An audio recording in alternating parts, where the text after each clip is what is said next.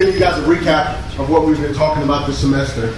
Um, so here it is. We talked about who Christ is. We talked about his power.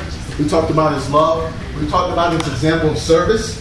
Um, and more importantly, we talked about how he's a person we need because we can't live without him. Um, we've heard testimonies even tonight by man um, and from our young life leaders of how God has worked in people's lives, how God has molded people's lives and scoped people's lives. And we've, we've learned uh, even these past few weeks how sin is our rejection and uh, ultimately our ultimate separation from God. And we've learned that, that that's a choice. That's not something God puts on us. Um, we choose to sin. We choose to do wrong. Um, we choose to go our own way. Um, everybody knows, most people know Romans 3.23. Um, for all the sin and fall short of the glory of God. Um, a verse in Proverbs. Proverbs 14 says, that there's a way that seems right to man, but this end is the way to death. so there's a way that some of us see that that's right for us to go, a way that some of us see that's the, the correct path to walk, and it just leads to death. Um, and in uh, Romans 6 23 says, For the wages of sin is death. But, but thank God that there's a second part in that verse, and it says, The gift of God is eternal, eternal life through Jesus Christ our Lord. Um, even even uh, this past week, Eddie Chavez talked about choices. Um, he talked about choices that we had to make. He talked about choices that Jesus made um, to die for us, and even better yet, to be resurrected and live for us. Um, and some of you guys have made choices this semester. Some of you guys have been kind of on the fence about some stuff. Um, but I'm kind of here tonight to make sure you guys don't miss out on the big picture of what we've been talking about all semester. Um, I, I, just want to make sure that you guys haven't missed out on the life that all of our young life leaders have been talking about um, this whole semester. Uh, I'm going to start off by asking, I guess, a kind of tough question during this night, but are we truly worshiping God? Are you guys truly worshiping God tonight? Are you guys truly worshiping God in your lives? Are we truly worshiping the God who's all powerful and almighty? Are we truly trusting in Him? Are we are we truly coming together to worship the God who's loving? Are we are we loving others? Um, are we are we truly worshiping the God who who lives in us? Are we truly living the life? Um, some are all of you guys just saw that chisel video on God's chisel, and uh, in the video it was kind of just kind of unique that guy kind of pops out after, you know, this guy, I think his name is Tommy, uh, says a prayer of how he wants God to mold him and to shape him. And uh, God, God shows up, um, just like just like prayer. Prayer works. So God shows up and he starts to want to chisel away, chisel away at Tommy. And Tommy kind of he kind of squirms. He's kind of like, ow, you know, it's, it's kind of tough for him. And you know, when, when Tommy kind of gets a sensitive subject, or I guess a tough subject, he's kind of like, well, God, I don't have a problem with that. You know, I don't, I don't deal with that problem. Um, and I think that was based on the, the root that he didn't trust God. Um, are we trusting God with our lives? Are we trusting God um, enough to enough to do what He commands and what He asks? Um, so that that requires another question and that's uh, to really say that we're truly living requires us to ask what we're really focused on. You know, all of us have heard Matthew 28, uh, the Great Commission, uh, make disciples of all nations, baptizing them in the name of the Father and the Holy Spirit. Are we truly focused on stuff like that, on advancing the kingdom? Um, are we truly focused on on uh, being a part of His vision for what this world looks like and being a part of His will? Um, there's another verse I just want to read to you guys. It's in Second Corinthians, and uh, to me, it has to do with making God's name great um, above all names, above our, our will, above what we want to do. Um, so, Second Corinthians, um, verse seven, starting at um, Second Corinthians chapter five, starting at verse seventeen, and it says, "Therefore, if anyone is in Christ, he's a new creation. The old has passed away; behold, the new has come." All this is from God, who through Christ reconciled us to himself and gave us the ministry of reconciliation. That is, in Christ, God was reconciling the world to himself, not counting their trespasses against them. Trespasses are like sins. And, and entrusting to us the message of reconciliation. Therefore, we are ambassadors for Christ, God making his appeal through us. We implore, implore you on behalf of Christ, be reconciled to God. For our sake, he made him to be sin who knew no sin, so that in him we might become the righteousness of God. I just want to ask you guys are, are we ambassadors for Christ? Because if we're not, that, that's what we should be striving to do. Because that's the Christian life, that's part of the life. And it, it's life. Everything else, everything else is death. Everything else is leads to leads to death. Um, are we are we focused on becoming more like Christ? And are we focused on living life better? Um, being being in relationship with Christ is, is what we should be focused on. Um, even tonight as we worship God through song and through listening and, and uh, confession, it, it's what it's what really what Young Life is. Um, we're saying this is kind of a, a different night from Young Life, but at its core, Young Life is about fellowship with God and fellowship with other believers.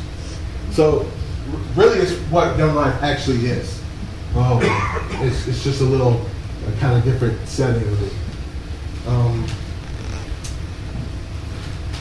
and I, I just want to challenge you guys, number one, to kind of look at the things in your life that you think are real, that you think are lives, that you think make up who you are, and challenge you guys to compare that to Christ. Um, I promise you, the things in your life that you're trying to draw from aren't, aren't getting you anywhere. Uh, like the guy said up there, um, it's like it's like an empty well. Um, everything else is kind of like empty well. You, you try to draw and kind of, I guess, quench your thirst by getting the water from this well, but there's nothing in it. There, there's nothing in it. It's empty. It's a dead end. Everything, everything but Christ is a dead end. It's not living. Um, so, even even in the in the video, our lives are kind of set up um, for God to make His masterpiece into. Um, in this original creation, we were His masterpiece, but we we cloud our lives and um, we make up stuff in our lives that that don't honor God. We make up stuff in our lives that that mess up the masterpiece. Um, Ephesians 2.10 says, we're God's workmanship, created in Christ Jesus for good works, for which God prepared beforehand that we should walk in them. So, so when God kind of chisels, chisels away at us, um, like you'll get a chance to hear from some people a little later on, when he kind of chisels away, away at us, it can be painful. Um, we heard Man talk about earlier how it's kind of a struggle for him as soon as he went back. Um, it's not an easy road, um, but it's really it's really a process of discipline. It's really are we are we really wanting to live this life? Are we really disciplined to to, live the life of, of, of what Jesus wants what God wants? Um, the chisel is tough, but it, it's necessary to get the masterpiece that's underneath it the masterpiece that God originally created. And uh, and for you guys that are doubting that kind of, it might not be worth it. It's, it's totally worth it. Um, there's a verse in Romans, Romans 8, and it says, you know, He makes all things work together for our good. So it's, it's not it's not like it's a one-sided relationship where God gets glory and we get nothing. It's for our good that we're chiseled. It's for our good that we're shaped into this masterpiece um, that God intended us to be. Um, it's for our benefit. It's definitely worth it. You can ask me. You can ask young, young life leaders. You can ask some people in the crowd. You can ask man. It, it's worth it. Ask him how his life is now. But when it when it comes to chiseling, um, like God said in the video, some of us some of us don't want to put the work in. Even, even though it's worth it, even though it's totally, it'll totally change your life, some of us don't want to put the work in. He said some of his children just kind of talk. Just kind of talk. Kind of talk about it. You know, I'm, I'm sure you guys know some people that you know that just talk about stuff and never do it. You never, you never get to be chiseled. You never get, get to be the masterpiece that He wants you to be. Um, and I don't, I don't really know kind of what you guys think the chiseling is, but I think, I think that you guys need to get that the chiseling isn't what God created. God's not chiseling His masterpiece. God's chiseling the things that we've created in our lives, the things that we've plastered over our hearts, and the things that we've we've covered up um, in an effort to not show people who we really are.